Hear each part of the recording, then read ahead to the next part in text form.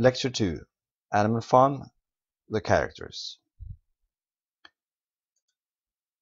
These are some of the important characters from the movie.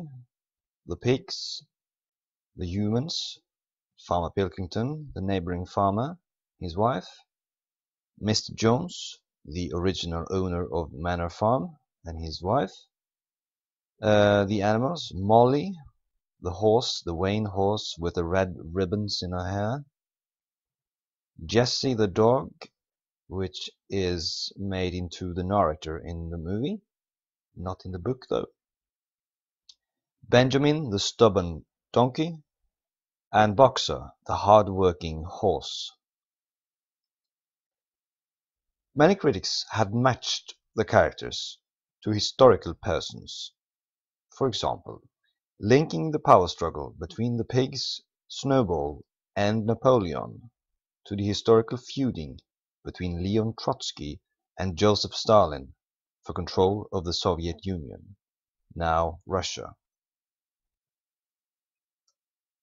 Critics also believe that Old Major represents Karl Marx the philosopher, who died before realizing his dream.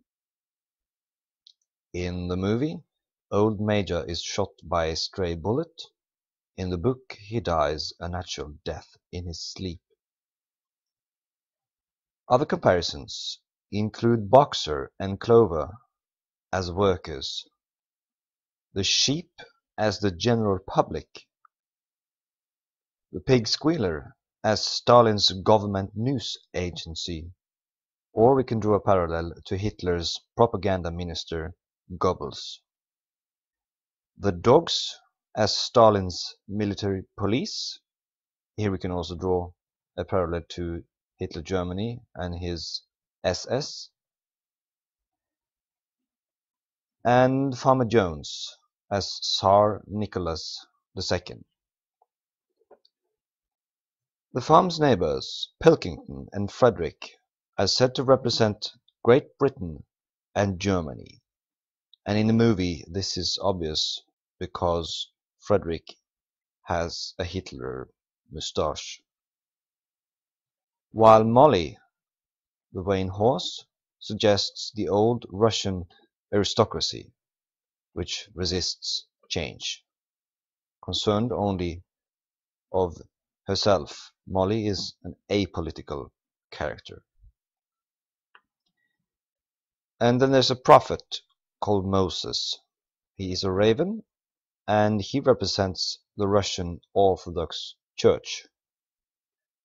Philosopher Karl Marx is known to have said that religion is the opium of the people. This is shown in the animals' acceptance of Moses' tales of Sugar Candy Mountain, which is similar to the Christian notion of heaven.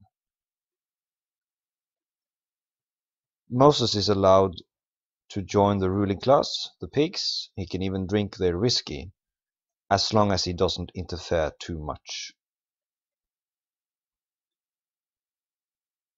Animal Farm is more than a fairy story, which it is subtitled.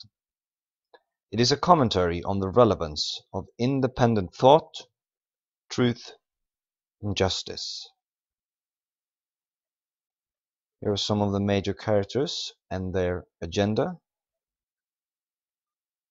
you may want to press pause and study this closer. And these are some of the other important characters.